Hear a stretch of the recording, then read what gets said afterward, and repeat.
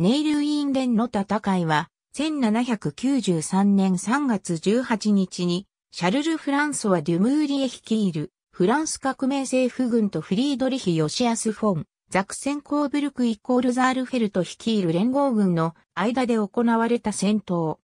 オーストリアとオランダの連合軍は苦戦した後、フランスの突撃をすべて撃退、デュムーリエは敗北を認めて撤退した。これによりオーストリア領ネーデルラントにおけるフランス軍は総崩れになり、オランダへの脅威が消え失せるとともに、オーストリア領ネーデルラントは奪回された。戦闘はブリュッセルから 57km 東、ゲンベルギー領のネールウィンデンで戦われた。1792年11月のジュマップの戦いで勝利した後、フランス軍はオーストリア領ネーデルラントの大半を占領した。しかし、デュムーリエとフランス政府はオランダとの戦争に暴殺され、オーストリア軍をラインガー西岸へ追いやることができなかった。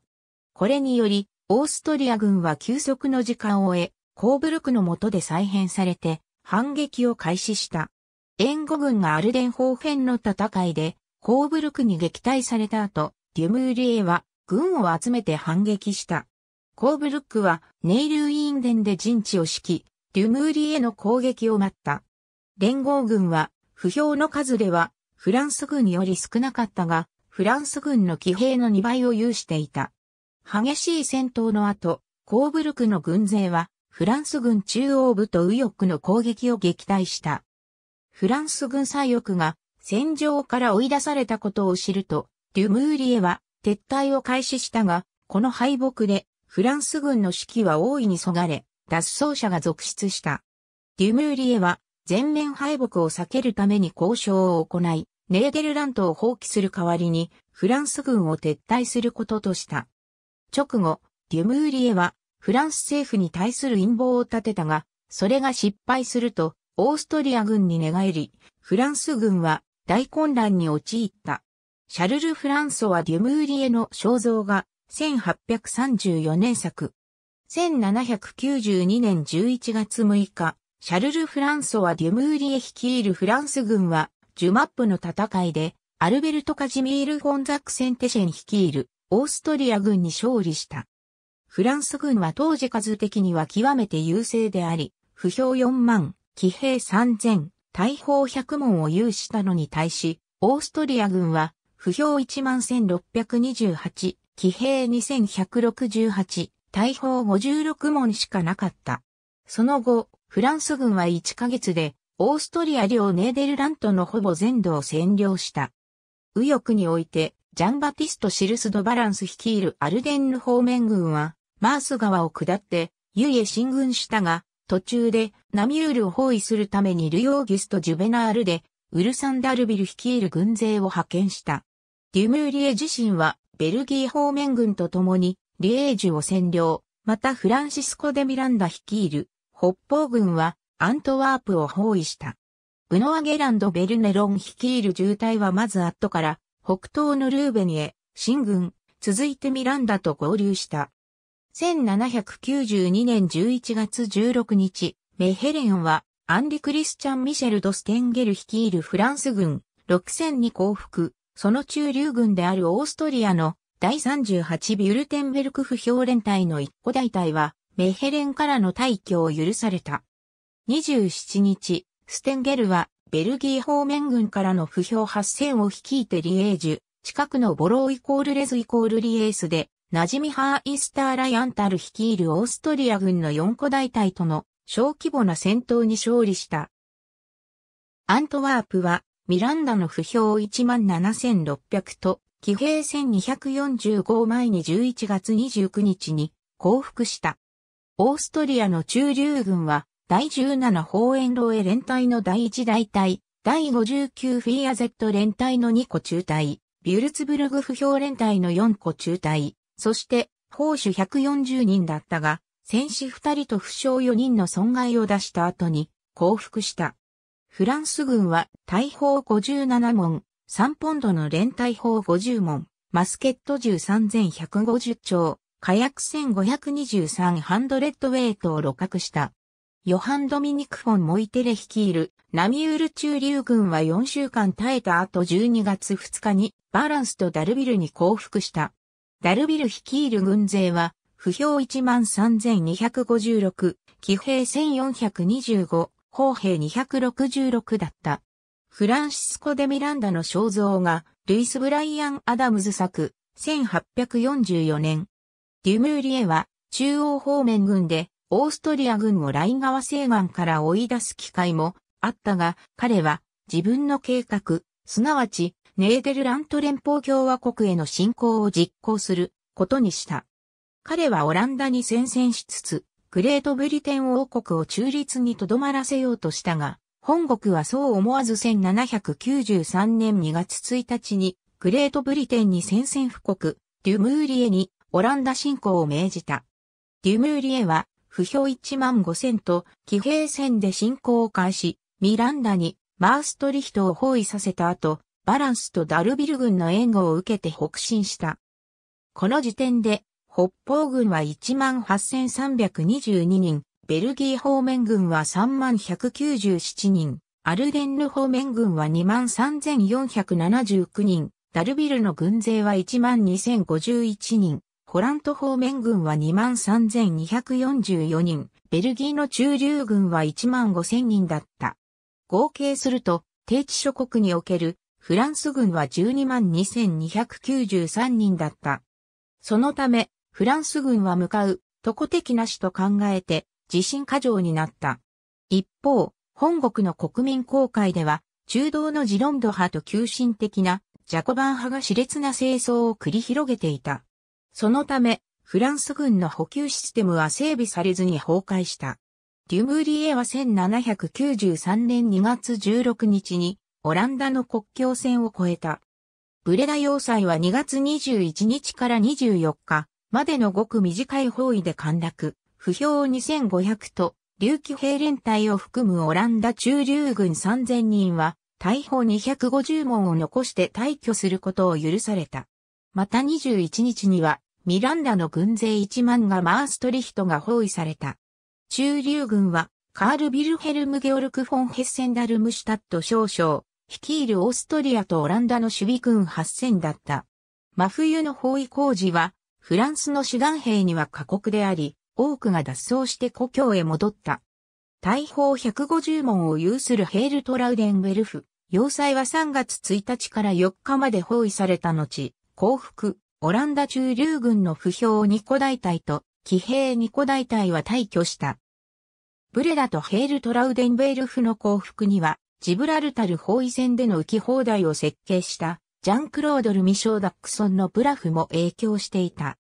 クランデルトにある小さな砦はベルネロン率いる4000人により3月4日に占領されたが、クランデルトの少数な中流軍は、眼境に抵抗し、60人が戦死して、残り73人になって、ようやく降伏した。フリードリヒ・ヨシアス・フォン、ザクセンコーブルクイコールザールフェルトの肖像が、ジャンバティスト・マリウス・オーギュスタン・シャラメル作、1889年。ホランス・ディープ川の端についたデュムーリエは、作戦計画を立てた。まず川を渡って、続いて、ロッテルダム、デルフト、デンハーグ、ライデンと進撃して、アムステルダムを奪取するという作戦であり、ミランダもマーストリヒトを落とした後、ナイメーヘンとユトレヒトを通ってデュムーリへと合流する予定であった。しかし、オランダとの戦闘に暴殺されたことで、フランス軍はオーストリアに休息の時間を与えすぎ、フリードリヒ・ヨシアス・フォン、ザクセンコーブルクイコーレザールフェルトは、ライン川西岸にオーストリア軍の大軍を配置した。カール・マック・フォン・ライベリヒという有能な士官の補佐も受けた。コーブルクが3月1日のアルデンホーフェンの戦いで、ルネ・ジョゼフ・ドラヌーの援護軍を蹴散らしたことで、フランス軍は3月3日にマーストリヒトの包囲を解いた。コーブルクの追撃は遅く、フランス軍は9日にルーベンで再集結してしまった。デュムーリエはオランダ侵攻を諦めたくなかったが、本国の命令でベルギー戦域に集中せざるを得なかった。ルイ・シャルル・ド・フレールをホラント方面軍の指揮に残すと、デュムーリエは11日にルーベンに到着した。デュムーリエは撤退するにも、自軍の士気が低すぎると考えて、コーブルクの軍勢に向けて、進軍、開戦を求めた。しかし、拙速に進軍したタメダルビルの軍勢や、コラント方面軍の増援を呼び寄せることに失敗した。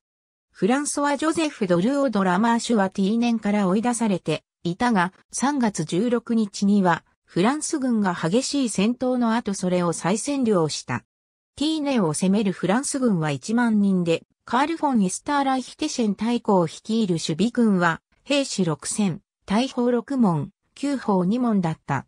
フランス軍が500人の損害を出した一方、守備軍は死傷者と行方不明者が合計800人に上った。コーブルクは軍を小平手川まで退かせた。数で敵を上回っていると考えたデュムーリエは成功を確信していた。また一世紀前に同地で戦われた戦闘でもフランス軍が勝っていた。ヨーゼフ・フォン・フェラーリス両軍の実力は歴史家の間で意見が相違した。歴史家のディグビー・スミスは仏軍を4万から4万5千人とした。一方、オーラン連合軍の人数を4万3千とした。ラムゼー・ウェストン・フィップスは、仏軍が不評4万と騎兵4500、連合軍が不評3万と騎兵9000とした。セオドア・イラウト・ドッチは、デュムーリエが不評4万2000と騎兵5000を投入したのに対し、コーブルクは不評3万と騎兵1万であるとした。またグンター・エーディヒ・ローテンベルクによると、デュムーリエの軍勢は4万1000人で、相手の4万3000を下回っていた。シャルトル公、ルイ・フィリップ・ラマーシュの前衛は、不評4000と騎兵戦であった。オーギュスト・マリーアン・リピコード・ダンピエール率いる右翼の側面軍は、不評2000と騎兵戦であった。バランスの右翼軍は18個大隊で、計7000人であり、ジョアシャン・ジョゼフ・ヌイー、アレクシス・ポール・ミシェル・ル・ベヌールとバランスの師団に分けられた。シャルトル公、ルイ・フィリップは、中央の不評18個大隊と騎兵戦を率いた。その副官は、ジャック・トゥベノーとドモニク・リートマンであった。ミランダの左翼軍は、ジャン・アレクサンドル・イーレ率いる7000人とフェリクス、マリー・ピエール・シェノン・ド・シャン・モラン率いる、不評5000と騎兵戦だった。ジョセフ・ミヤチンスキは、左翼の側面軍である不評2000人と騎兵1000人を率いた。予備軍は、ジャンネ・スタード・シャンセル率いる8個大隊で、計4000人であった。合計すると、不評3万8000と騎兵5000となる。一方、カール大公の前衛は、不評11個大隊と騎兵11個大隊であり、数人の大佐率いる旅団に分けられていた。ヨーゼフ・フォン・グルーベルは、第33スタルイ不評連隊の2個大隊を率い、シュテファン・フォン・ミハリエビチは、マホニー両兵連隊の3個大隊、オドネル遊撃隊の1個大隊、ブラノバチュキー遊撃隊の3分の1個大隊、第32エステルハージフザール連隊の1個大隊を率いた。アントン・ウルリヒヨーゼフ・フォン・ミリウスは、グリューン・ラウドン遊撃隊の1個大隊、チロリアン狙撃隊の3分の1個大隊、エステルハージ・フザール連隊の1個大隊を率いた。カール・フィリップ・ツー・シュバルツェンベルクは、チロリアン狙撃隊の1か3分の1個大隊、オドネル遊撃隊の1個大隊、ブラノバチュキー遊撃隊の3分の1個大隊、ウーラン連隊の3個大隊を率いた。ポール・リベイは、バルトダイスキー、ブリー、ピュクラー敵眼兵連隊とエステルハージフザール連隊の6個大隊を率いた。ヨーゼフ・フォン・フェラーリスは第1級の8個不評大隊と16個騎兵大隊を率い、フェルディナント・フリードリヒ・アウグスト・フォン・ビュルテンベルクを師団の指揮官に起用した。その内訳は第10コイル不評連隊、第28バルテンシュレーベン不評連隊、第35ブレンターの不評連隊から2個大隊ずつ、第3カール大公不評連隊、第69ヨルディス不評連隊から1個大隊ずつ、第12カファナーグ強行騎兵連隊と、第14ナッサウ強行騎兵連隊から6個大隊ずつ、第1カイザーカラビニアー騎兵連隊と、第5アルブレヒト校、カラビニアー騎兵連隊から2個大隊ずつであった。ベンツェル・ヨーゼフ・フォン・コロレドは、第2級の6個不評大隊と10個騎兵大隊を率い、師団指揮官のヨハン・アンドレアス・ベニオフスキーとフランツ、フィンセンツ・フェレール・フォン・ホディッツ・ウント・ボルフラニッツ少将を副官とした。その内訳は、第25ブレシャンビル不評連隊と、第54カレンベルク不評連隊から2個大隊ずつ、第15アルトン不評連隊と、第57ヨーゼフ・コロレド不評連隊から1個大隊ずつ、第10ゼッシュビッツ強行騎兵連隊から6個大隊、第18からカラツァイシボーレジ連隊と、第37コーブルクリュー騎兵連隊から2個大隊ずつであった。フランソワ・セバスチャン・シャルル・ジョゼフ・ド・クロワ伯爵は、予備軍の11個不評大隊と14個、騎兵大隊を率い、ヨージェフ・ワルビンチとヨハン・ネポムク・ゴットフリート・フォン・リュッツォフがその配下の指揮官を務めた。予備軍の内訳は、第30リーニ不評連隊、第34エステルハージ不評連隊、第38ビュルテンベルク不評連隊から2個大隊ずつ、第55マレー不評連隊、第58フィアゼット不評連隊、ロイフェン、モルツィン、ルソー敵団兵大隊から1個大隊ずつ、第31ラトゥール死亡レジ部隊から8個大隊、第16ブランケンシュタイン・ジェイフザール連隊から6個大隊であった。ネーデルラント連邦共和国からは、ストッカーとバルデック連隊から2個大隊ずつ、メイトウェルデレン不評連隊から1個大隊ずつで、計6個大隊派遣された。ネイルウィーンデンの戦いの地図カール大公率いるオーストリア軍前衛は右翼に配置され、ベンツェル・ヨーゼフ・フォン・コロレドと、フェルディナント・フリードリヒ・アウグスト・フォン・ビュルテンベルクは、中央部に配置され、フランソワ・セバスチャン・シャルル・ジョゼフ・ド・クロワ伯爵と、予備軍は左翼を守備した。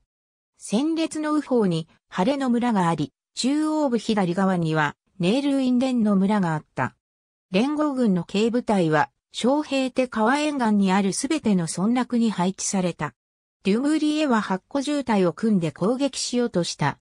右翼のバランスは3個渋滞で、ラクールとオーバーウィンデンをダッシュしようとし、シャルトル港は中央部で2個渋滞を率いて、ラーを通ろうとした。また左翼ではミランダが3個渋滞でハレへの道を進むと命じた。